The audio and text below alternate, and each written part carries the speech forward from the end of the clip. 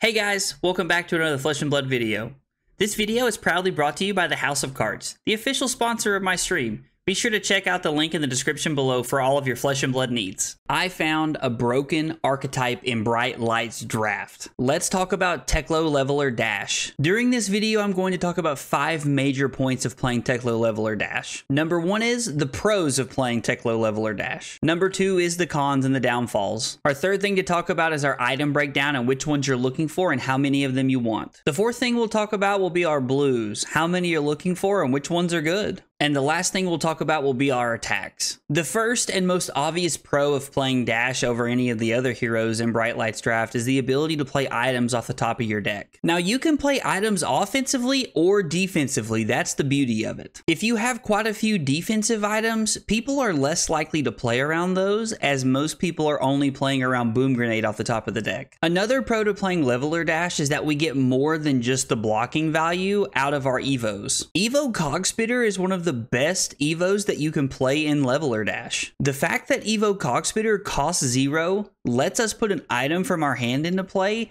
and still blocks for two and we have to have it is absolutely insane. Another pro of playing Leveler Dash is that it kind of leaves you open to pivot between heroes if you want to. If the first pick of your draft is an Evo based Century Arms and the second pick of your draft is a red mini force field, then you're both open to playing Teklovossen or Dash at this point. It is a huge advantage to be able to pivot heroes later in a draft than everyone else sitting at the table with you. Next, let's talk about the cons of drafting Leveler Dash. One of the most convenient playlines of playing Teklovossen is the fact that you can block with an Evo and then scrap it and play it from your banish zone. You definitely don't get this value off of playing Dash. In Leveler Dash, most of your Evos are Blade Break for two or they don't actually block. So it's very hard to get value out of your Evos as the game is going on, and you need to save them for late game as much as possible. The biggest downfall of playing Leveler Dash that I found is that if Teklovossen is able to set up more Evos before you are,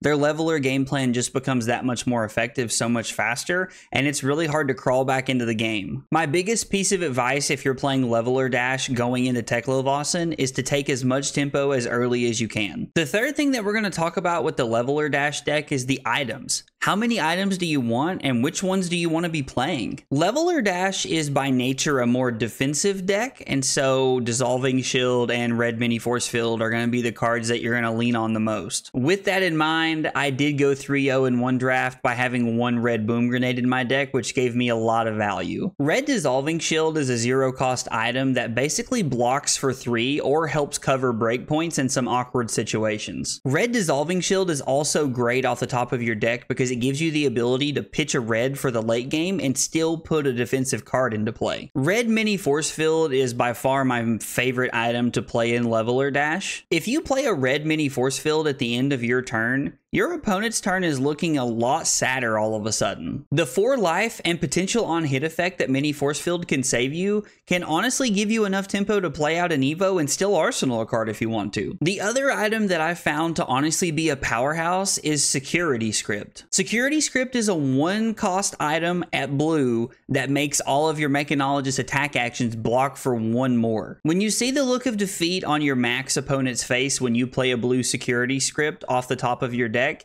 you'll understand what I'm talking about. Security Script also helps us fit our blue ratio while still having the value of playing in the Dash's hero ability. The fourth thing we're going to talk about is our blue count. How many do you want and which blues are you looking to play? I have played as few as 9 blues in a Leveler Dash deck and as many as 13 in one deck. I can honestly say that even though I went 2 1 with only 9 blues in my leveler dash deck, I feel like that's really pushing it. I would say that the consistent minimum you want to have as far as blues are concerned in your deck is 10. I would also say don't play any more than 14 blues in your deck. 14 blues is already a lot and can really dilute the power level of your deck. Now, I understand that this is a deck that's based off consistency, and the more blues you have, the more consistent your draws are going to be. But trust me, you're going to want a way to close games. The last big ticket item that I have to go over is our attacks. Now, when I say attacks, I'm obviously talking about red cards. I'm not going to sit here and say exactly how many attacks you need to have in your deck because your attacks are designed to fill out the rest of your deck and help you apply pressure when you need to. There are a lot of really good red attacks in this set, so let's talk about which ones can benefit you the most. The first two that really come to mind are Red Underloop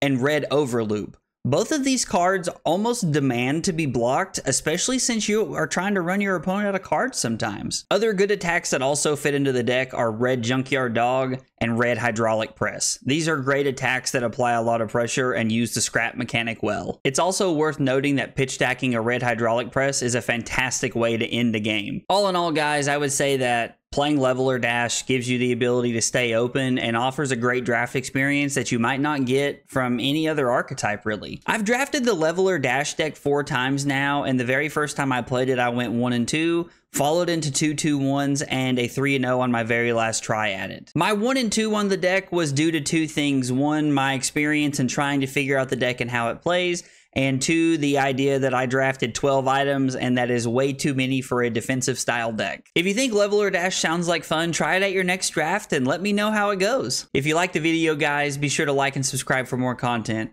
Thanks for watching, I'll see you next time. Take it easy, guys.